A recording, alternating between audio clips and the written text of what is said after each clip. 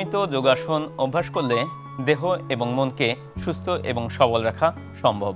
আজ আমরা আপনাদেরকে দেখাবো পার্শ্ব চন্দ্রাসন।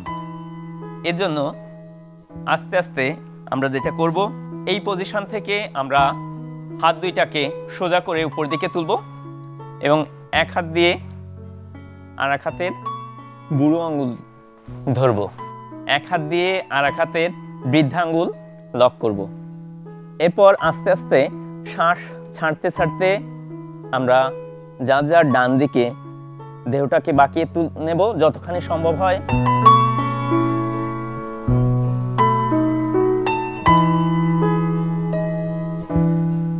হাত দুইটাকে টান টান করে রাখব, তিরিশ সেকেন্ড অবস্থান করব। শ্বাস নিতে নিতে সোজা হব। এরপর আবার এখান থেকে শ্বাস ছাড়তে ছাড়তে বা দিকে বেঁকে যাব।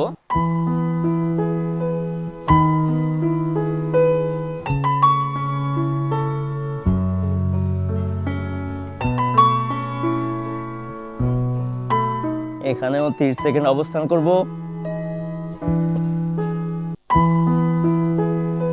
আস্তে আস্তে শ্বাস নিতে নিতে সোজা হব। দুই হাত। নিচে নামাবো এবং আরামে দাঁড়াবো।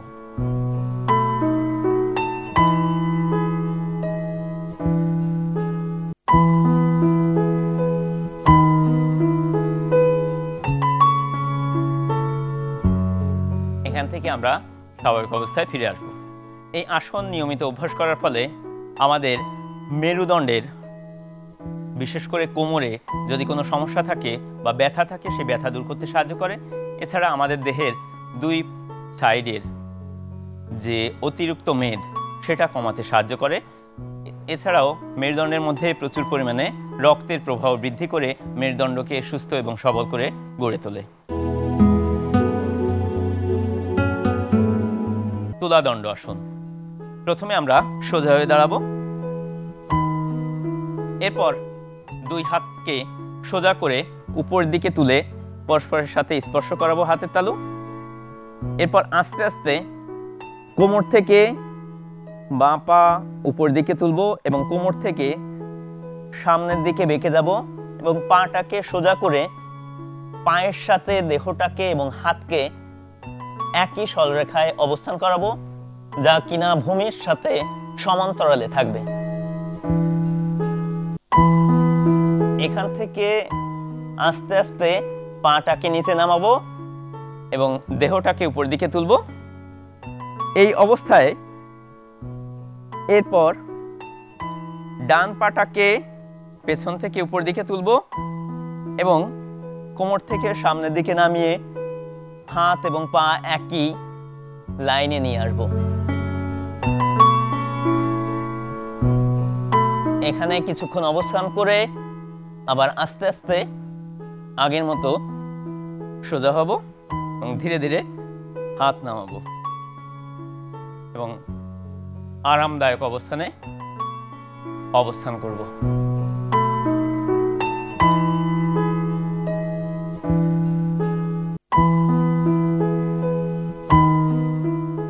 আস্তে আস্তে স্বাভাবিক হব।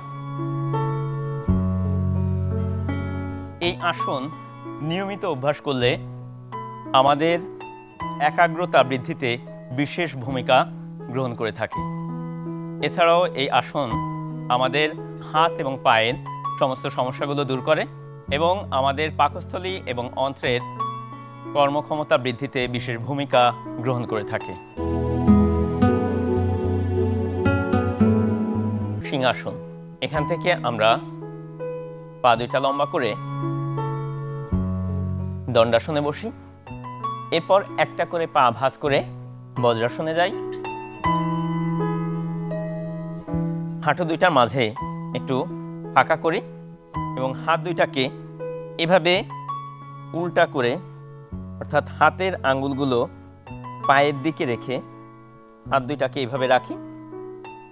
এরপর জিপটাকে যতখানি সম্ভব মুখ থেকে আমরা বের করব এবং আমাদের দৃষ্টি রাখব দুই ভ্রুর মাঝখানে। এখানে রেখে যতটা সম্ভব মধুর স্বরে আওয়াজ করার চেষ্টা করব।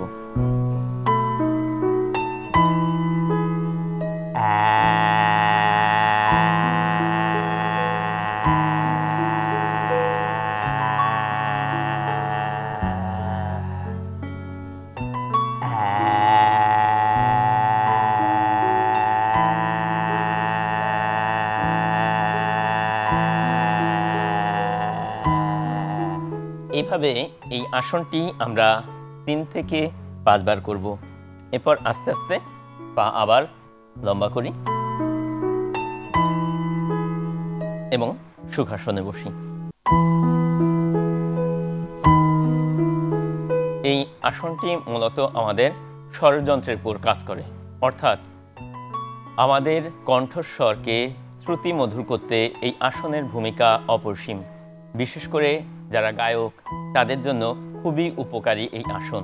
তাছাড়া যাদের কণ্ঠস্বর কর্কশ, তারাও নিয়মিত এই আসন করলে তাদের কণ্ঠস্বর মধুর হতে শুরু করবে। এছাড়াও এই আসন নিয়মিত অভ্যাসের ফলে আমাদের থাইরয়েড এবং প্যারাথাইরয়েডের সমস্যা দূর করে। আকর্ণ ধনুরাসন এর জন্য প্রথমে আমরা সবাই দণ্ডাসনে যাই। দুই পা সামনের দিকে লম্বা করে বসি। এটা হলো দণ্ডাসন। এই দণ্ডাসন অবস্থান থেকে আস্তে আস্তে দুই হাত তুলে দুই পায়ের বুড়ো আঙ্গুল বা বৃদ্ধাঙ্গুলি ধরি তর্জনী দিয়ে। হাতের তর্জনী দিয়ে পায়ের বৃদ্ধাঙ্গুল ধরি। এরপর আস্তে আস্তে ডান হাত এবং ডান পা তুলে কানের কাছে নিয়ে আসি। এবং এখানে তিরিশ সেকেন্ড অবস্থান করি।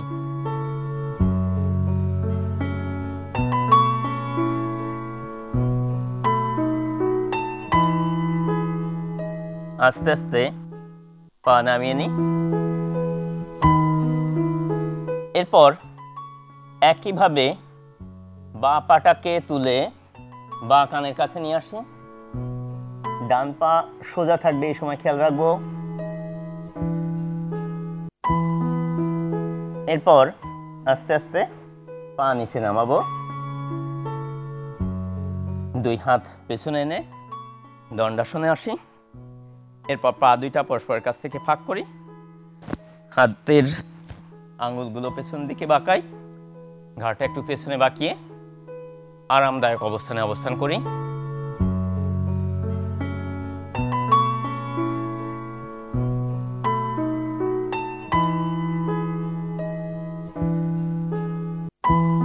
আস্তে আস্তে স্বাভাবিক হই।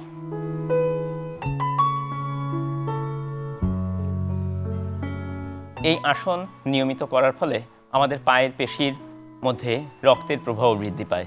ফলে পায়ের পেশি সংক্রান্ত যে সমস্ত সমস্যাগুলো আছে, বিশেষ করে উরুর পেশি এবং পায়ের পেশির যে টান ধরা বা খিল ধরা সমস্যাগুলো হয়, নিয়মিত এই আসন অভ্যাসের ফলে সেটা দূর হয়। এছাড়াও অন্ত্র, কিডনি প্লিহা বিশেষ করে ক্ষুদ্রান্ত্র এবং বৃহদন্ত্র এবং মলাশয়ের সমস্ত রকম সমস্যা দূর করতে বিশেষ ভূমিকা গ্রহণ করে থাকে। শশাঙ্গ আসন। প্রথমে আমরা পা লম্বা করে দণ্ডাসনে যাই। বসা যে কোনো আসনই আমরা দণ্ডাসন থেকে শুরু করব। প্রথমে এখান থেকে আমরা ডান পা ভাঁজ করি এবং বা পা ভাঁজ করে বজ্রাসনে বসি। আস্তে আস্তে মাথাটা নিচের দিকে নামিয়ে শ্বাস ছাড়তে ছাড়তে মাথার তালু ম্যাটের উপর টাচ করি এবং পেছন থেকে যতটা পারি উপর দিকে হিপটাকে তুলি এবং হাত দিয়ে পায়ের গোড়ালি ধরে রাখি।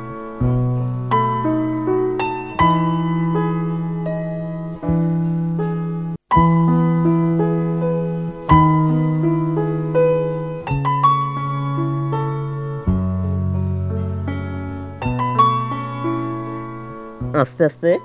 শ্বাস নিতে নিতে সোজা হই।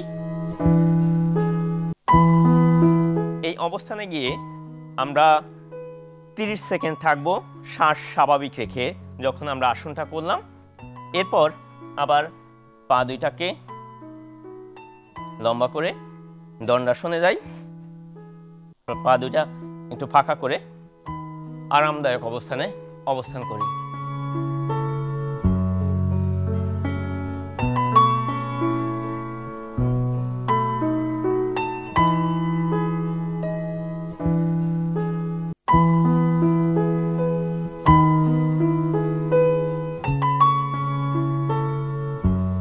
আস্তে আস্তে স্বাভাবিক অবস্থায় আসি। এই আসন নিয়মিত অভ্যাস করার ফলে আমাদের মেরুদণ্ডের নমনীয়তা বৃদ্ধি পায় এবং মেরুদণ্ডে প্রচুর পরিমাণে রক্ত প্রবাহিত হয়।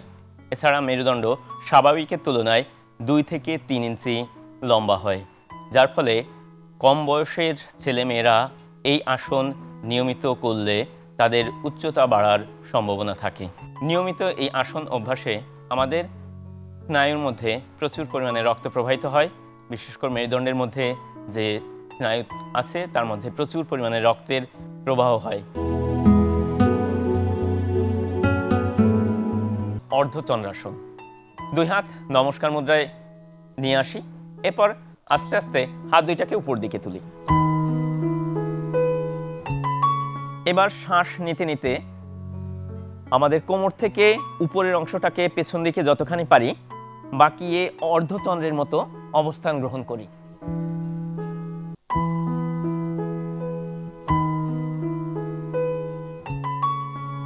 শ্বাস ছাড়তে ছাড়তে আবার সামনে নমস্কার মুদ্রা আসি। এখান থেকে আস্তে আস্তে হাত দুইটাকে নামিয়ে আরামদায়ক অবস্থায় অবস্থান করি। এই আসনটি নিয়মিত অভ্যাসের ফলে আমাদের মেরুদণ্ডজনিত যে সমস্ত রোগ হয়, বিশেষ করে স্পন্ডিলাইটিস, স্লিপ ডিস্ক, এই ধরনের রোগ থেকে আমরা নিজেকে দূরে রাখতে পারি। এছাড়াও এই আসন নিয়মিত অভ্যাসের ফলে আমাদের পেটে মেদ জমতে পারে না। এই আসন অভ্যাসের ফলে আমাদের দৈহিক নমনীয়তা বৃদ্ধি পায়। যোগ মুদ্রা। এর জন্য প্রথমে আমরা দণ্ডাসনে বসবো।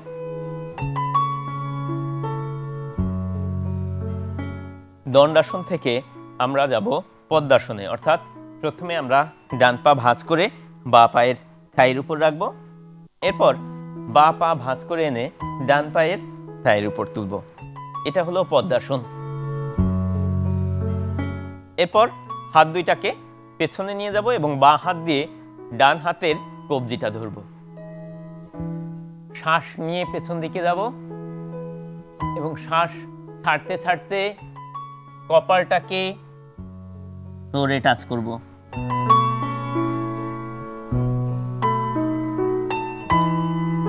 এখানে শ্বাস স্বাভাবিক থাকবে।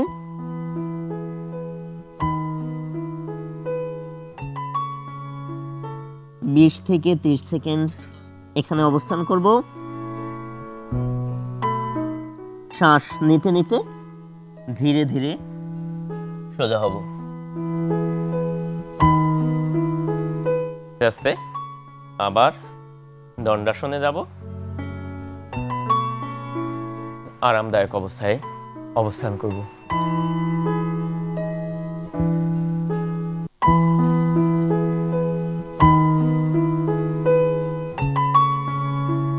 এখান থেকে আবার স্বাভাবিক অবস্থায় এসে আমরা সুখাসনে বসি।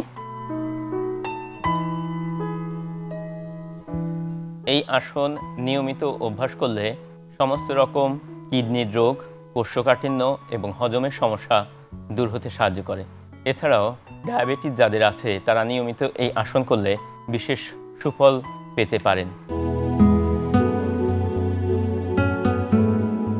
তাড়া আসন। এর জন্য আমরা এই আরামদায়ক অবস্থান থেকে প্রথমে আমরা পজিশন নেব, অর্থাৎ পা দুইটাকে একটু কাছাকাছি নিয়ে আসব।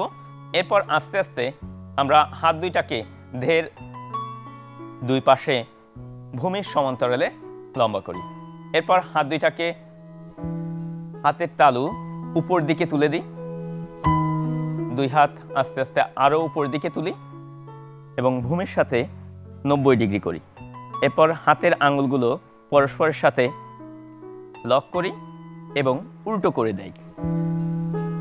এরপর শ্বাস গ্রহণ করে আস্তে আস্তে পায়ের গোড়ালি উপর দিকে তুলি। এখানে শ্বাস প্রশ্বাস স্বাভাবিক রাখব। এবং যতখানি পারি হাত দুইটাকে উপর দিকে তুলে দেওয়ার চেষ্টা করব। মনে হবে যেন আমাদের কেউ উপর থেকে টেনে উপর দিকে টেনে তুলছে। এই অবস্থায় আমরা প্রায় 30 সেকেন্ড অবস্থান করব। এরপর আস্তে আস্তে আমরা পায়ের গোড়ালি নিচের দিকে নামাবো। আস্তে আস্তে হাতের সোজা করব এবং লক দুটো ছেড়ে দিয়ে দুই হাত ভূমির সমান্তরাল করব। হাত আবার ঘোরাবো আর ধীরে ধীরে দেহের দুই পাশে হাত দুইটাকে নিয়ে আসব। এরপর আমরা আবার আরামদায়ক অবস্থানে যাব এবং মাথাটাকে একটু পেছন দিকে হেলিয়ে দেব। শ্বাসটা গভীর করে নেব এবং ত্যাগ করব।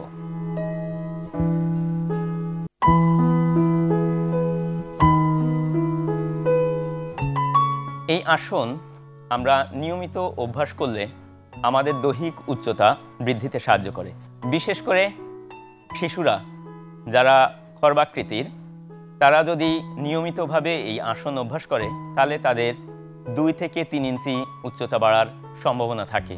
এছাড়াও এই আসন অভ্যাস করার ফলে আমাদের দেহের প্রত্যেকটা পেশিতে টান পড়ে এবং পেশিগুলোর মধ্যে রক্ত চলাচল বৃদ্ধি পায়। তাই পেশিগুলোকে সুস্থ রাখতে এই আসন একটা গুরুত্বপূর্ণ ভূমিকা পালন করে। উৎকট আসন। আমরা প্রথমে সোজা হয়ে দাঁড়িয়ে পা দুইটাকে একটু ফাঁকা করব পরস্পরের কাছ থেকে। প্রায় ছয় ইঞ্চি থেকে এক ফিট মতো ফাঁকা করব। এরপর হাত দুইটাকে সোজা করে সামনের দিকে তুলে দেব। এবার শ্বাস ছাড়তে ছাড়তে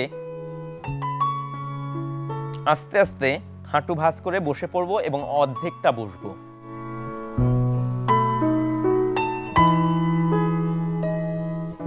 অর্থাৎ চেয়ার এর বসার মতো কিন্তু চেয়ার ছাড়া। স্থির হয়ে থাকার চেষ্টা করব এই অবস্থানে প্রায় 30 সেকেন্ড এবং ধীরে ধীরে পারলে এই সময়টা আরও বাড়াতে থাকব।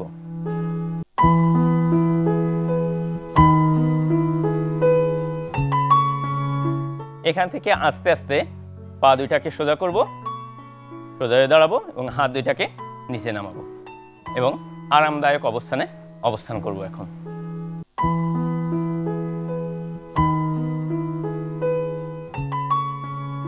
ধীরে ধীরে আরামদায়ক অবস্থান থেকে ফিরে আসব। এই আসনটি করার ফলে আমাদের পায়ের পেশির দৃঢ়তা বৃদ্ধি পায়। তার ফলে হাঁটুর যন্ত্রণায় যদি থাকে, সেই হাঁটুর যন্ত্রণা দূর করতে সাহায্য করে এই আসন। এছাড়াও এই আসন করার ফলে আমাদের দৈহিক শক্তি বৃদ্ধি পায়। তাই আসন আমরা নিয়মিতভাবে এই আসন অভ্যাস করি এবং নিজেকে নিরোগ এবং সুস্থ রাখি।